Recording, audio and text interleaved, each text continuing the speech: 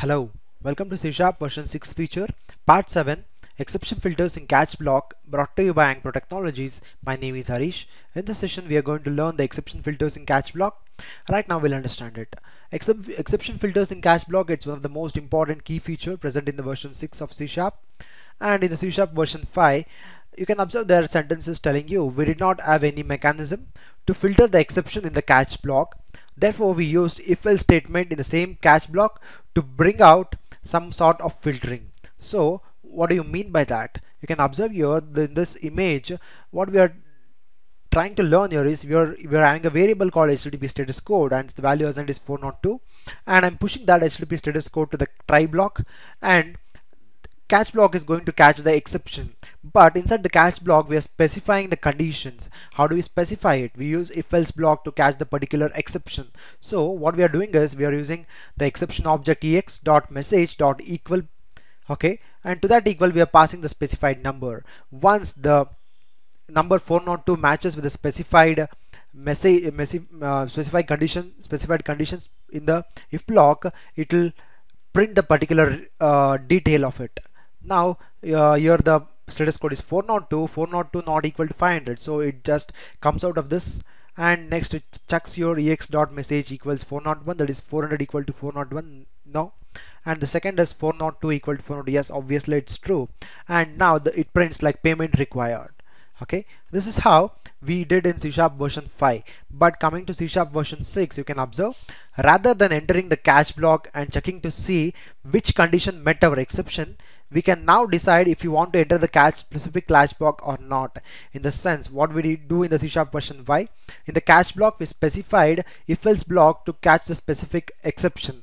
But instead of doing that in C Sharp version 6 we'll check whether to enter the specific catch block or not. In the sense for the catch block itself we are specifying the condition. If the here you can observe like catch exception ex object. When catch this exception when its message is equal to 400 otherwise it will push to the next catch and uh, it matches once the specified condition is met. Okay here in this example the uh, condition is 402 and the specific catch is uh, uh, cached exception is cached. Only the specific when the specific condition that 402 is met. Here the 402 is at the last and the respective line will be printed like payment required. So without wasting time let us jump to Visual Studio Visual Studio and start coding. For example let us see in C Sharp version 5 how, they, how do they do it? Where uh, HTTP status code the variable name is equals let me specify it to 402 okay and now let me uh, console dot it's right. To print in the same line. Http I have to move it inside the brackets. Http status code. Okay. Now what I'll do I'll push the http status code to the try block to check. Try. Um, let me throw an exception. To this exception let me pass that http status code. Let me convert into string format. Okay. Now in the catch block let me create an object of that exception class ex. Okay. Let me write uh, the filters using the if else block. If uh, ex dot message uh, sorry ex dot message dot equals. What I have to specify. Let, let me specify some other thing here first. I'll specify the 500 okay let me come inside this and let me write something. Console dot write.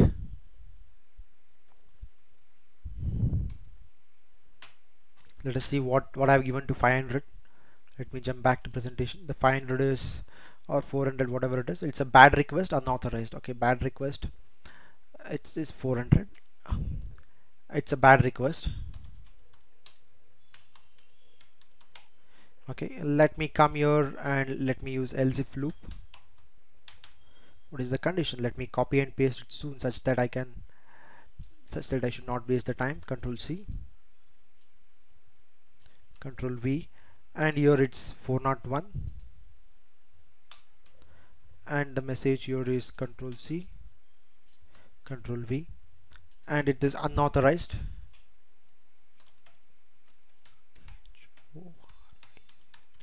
Unauthorized. Let me copy this else if block and let me paste it again. Uh, the message here is 402 okay. And it is payment required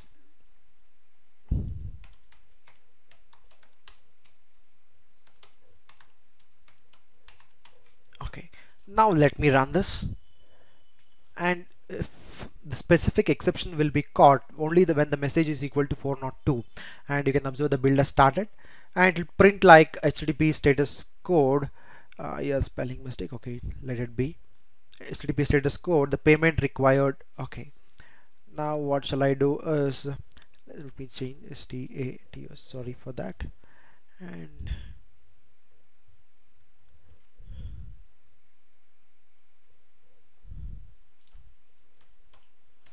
let me add console dot read line.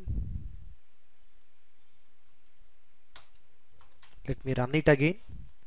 Okay HTTP status code payment required. Okay now what it did do is it just checked what is the what is this variable consider consists of 402 and we are passing pushing it to the try block and try block is allowing the catch block to catch the exception only when this 402 matches with this filters like you're we are having the messages like equals 400 101 and 402 only when my uh, HTTP status code 402 matches with any one of these it prints prints the output. Like here as we are giving 402 and the 402 2 it's going to print like payment required. And this is how we used filters within the catch block with the help of if else now let me show you how in C sharp version 6 uh, without the if without the use of if else loop uh, how they are trying to do it. They are writing the specific condition to the catch block itself. So when we run the application uh, it will check like which catch block to be caught first when the when the condition is met. Instead of entering the catch block then specifying the else loop. Now what we are doing is in the slide you can observe we are writing the exception or the condition to the catch block itself so that instead of entering the catch block the particular catch block will be called once. So how to do that? Uh, it's very simple. Come back here. Let me remove all these things. Okay. Catch exception. Okay. When okay, let me see it okay like within the brackets we have to give. When ex dot message sorry it's message dot equals 400 okay here you come and write. Sorry it's console dot write. What do you have to write? It's like um,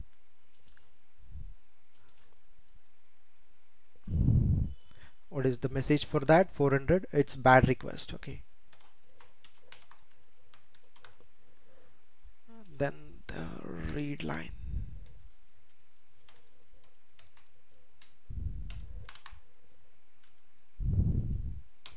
Okay let me create some other catch blocks. Control C. Message is equal to 401 and it's unauthorized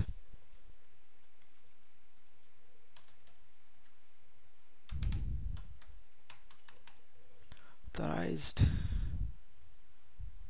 to paste it up control X. Okay. And if it is 402 and it is like payment required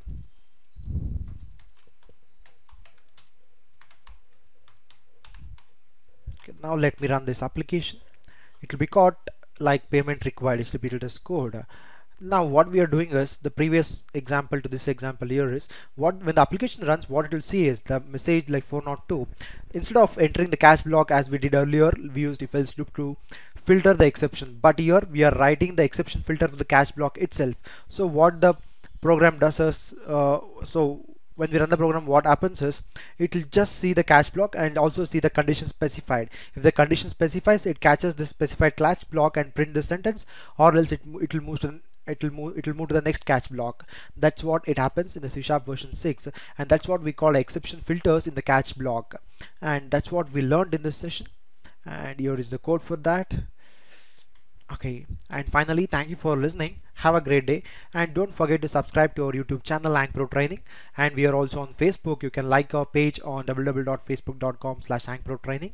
And we are also on twitter. And for the further references you can refer our website. And we are on linkedin too. And finally don't forget to give the feedback. Thank you. Have a great day